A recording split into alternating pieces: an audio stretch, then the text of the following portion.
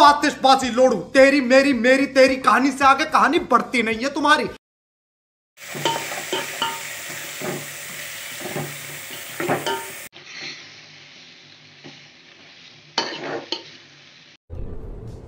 ये क्या है? क्या रे भिक मंगिया